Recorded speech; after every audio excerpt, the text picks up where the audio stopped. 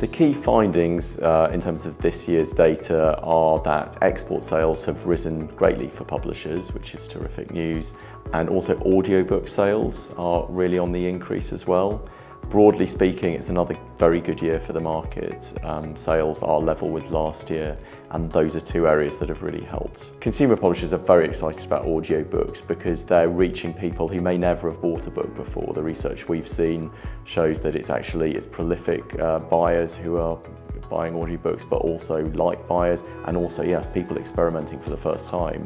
I think for any industry, when you've got new customers, that's really exciting. I think the growth of non-fiction is a very interesting phenomenon. I think it's counterintuitive too, because some people would assume that with the internet and the advent of multiple websites with multiple sources of information, that gives people what they need. But I think actually what we're seeing is people are turning more and more in this age to tried and um, trusted authors to guide them and to inspire them and to educate them. Consumer exports had a very good year. We've seen a continued increase in those and um, a multiple double-digit increase over the last four years.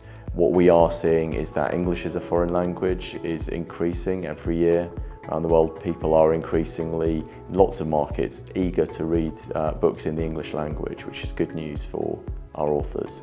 I think there's something magical about books. I think there's something perennial about books and one thing that I love to see is new generations discovering them and I think we're looking at, particularly if we look at children's books, we can see the appetite amongst children for books is as great as it's ever been, which is just terrific news.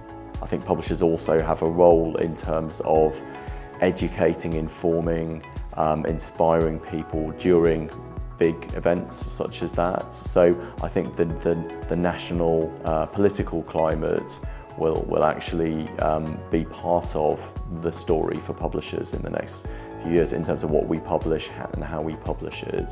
Um, and, and I think we've got a key role to play.